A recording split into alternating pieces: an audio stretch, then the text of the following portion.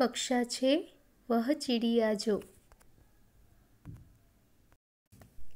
यह कविता लिखी है केदारनाथ अग्रवाल जी ने, जिनका जन्म हुआ था एक अप्रैल 1911 और निधन 22 जून 2000 जो उत्तर प्रदेश के थे, उसका ग्राम कामासीन और जिला था बांदा।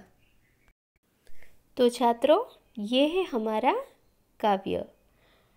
इस काव्य के द्वारा कवि केदारनाथ जी ने हम मनुष्य को एक छोटी सी चिड़िया के द्वारा बहुत बड़ा संदेशा देने की कोशिश की है कि मनुष्य में कैसे और क्या क्या गुण होने चाहिए।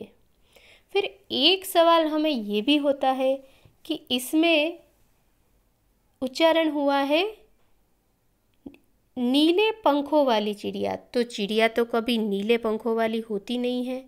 तो फिर यहाँ पर नीले पंखों वाली चिड़िया क्यों बोला गया है? तो एक हम बोल सकते हैं कि ये कवि का अनुमान या कल्पना भी हो सकती है।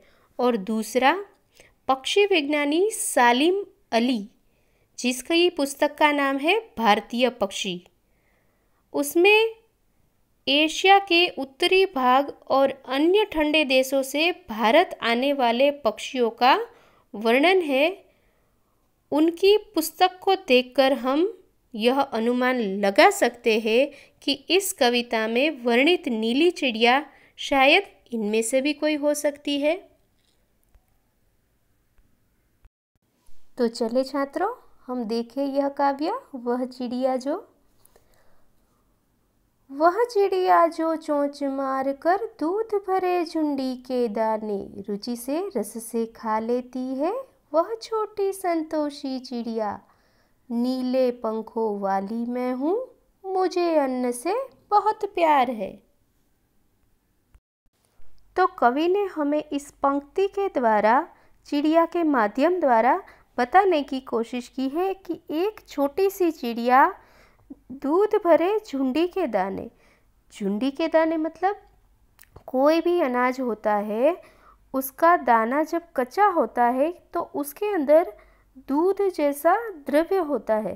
तो वो गेहूँ हो या ज्वार हो तो उसको जो चिड़िया है, वो बहुत बड़े ही चाव से खाती है, बड़ी ही रुचि से खाती है, बड़े ही प्यार से खाती है, उसको जितना भी मिलता है, उसमें वो संतुष्ट हो जाती है।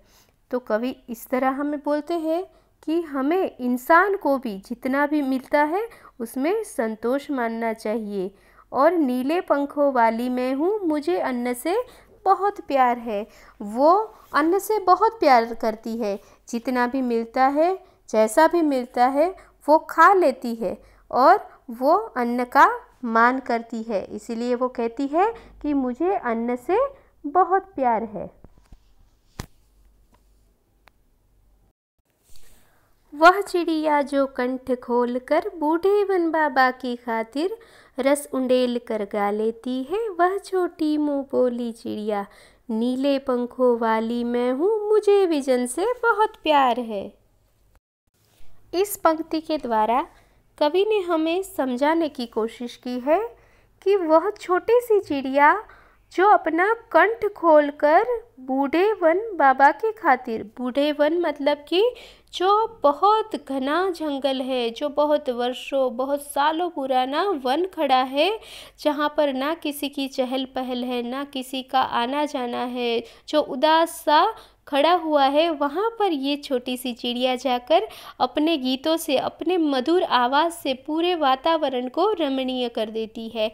और बूढ़े वन बाबा को मतलब कि वो जंगल को, वो इतना खुश कर देती है कि ये जंगल भी छोटी सी चिड़िया से खुश हो जाता है और खुशी से झूम उठता है।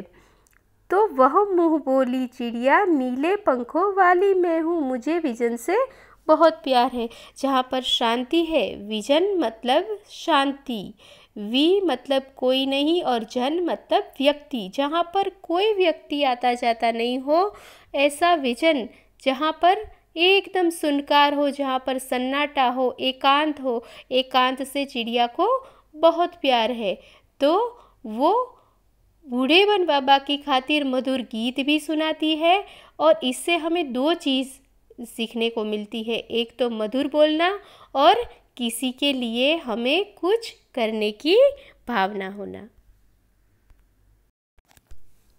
वह चिड़िया जो चोंच मार कर चढ़ी नदी का दिल टटोल कर जल का मोती ले जाती है, वह छोटी गर्बीली चिड़िया, नीले पंखों वाली मैं हूँ, मुझे नदी से बहुत प्यार है। इस पंक्ति में कवि हमें कहना चाहते हैं कि जब चिड़िया नदी के पास पानी पीने के लिए जाती है, तब वो ऐसे ही पानी नहीं पी लेती है।